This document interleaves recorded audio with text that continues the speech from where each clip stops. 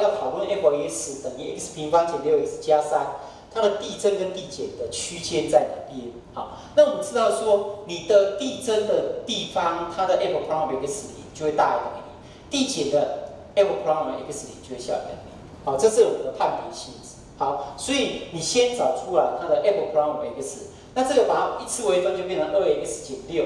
好，那把二提出来 x 减三，所以三呢是一个关键值，就是 apple prime x 三是零，那比它三大是正的，三还要小是负的。那显然这边 apple prime x 是正的，表示它递增；这个是负的，表示递减。所以它的图形是这个是往下，但是这个是往上。那在三的地方，这个函数值的地方。它就一个转换的地方，好，那这个往往下，这个往上，所以显然这边，好，它会有一个好平的地方，好像，会有一个平的地方。那这个我后面会讲，好，那现在你知道，就是说，哎，那递增的区间就是 x 大于三的地方，啊，x 大于三的地方，啊，就是在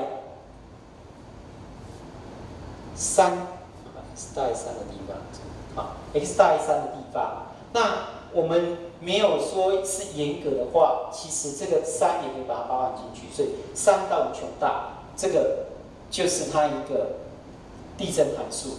那么同样的道理，你这个地方它就是递减函数，那也可以包含三，所以负无穷大到三之间，它是就是一个递减函数。刚才这样问题。